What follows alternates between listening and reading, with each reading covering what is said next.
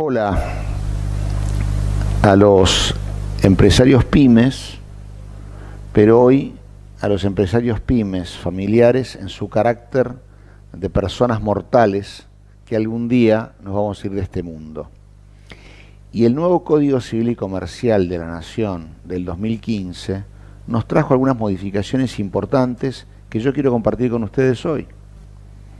En primer lugar, nos trajo como modificación a todos los seres mortales que nos casemos, pero cuando somos empresarios familiares tiene un tinte particular, la posibilidad de separar los bienes entre cónyuges. Algo que en mi vecino, nuestro vecino país y mi querido Uruguay, desde 1946 existía y en Argentina no existía.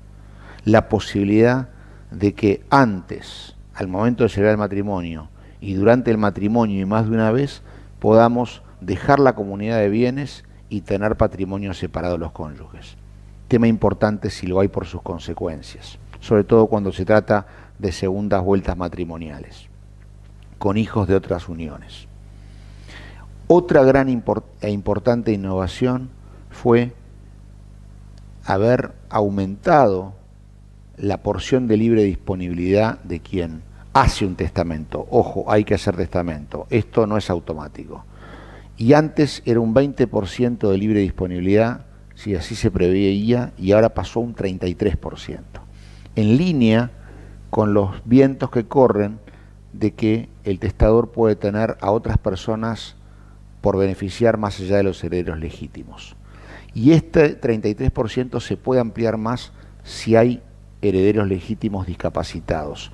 Tema importantísimo hoy, porque la discapacidad tiene mucho más protección hoy en el Código Civil y Comercial. Y se le puede dejar más bienes al discapacitado porque se sabe que no se va a poder valer por sí mismo. Y finalmente, hubo una apertura muy importante hacia pactar el futuro, lo que se llaman los pactos de herencia futura, la posibilidad de hacer fideicomisos testamentarios e incluso dejar la empresa indispuesta a los herederos para que no la puedan desguazar por los próximos 10 años. Mucho para pensar mucho para planificar, mucho para ordenar para los que vengan después de nosotros, no les compliquemos la vida, no se la compliquen entre ellos y podamos nosotros descansar en paz.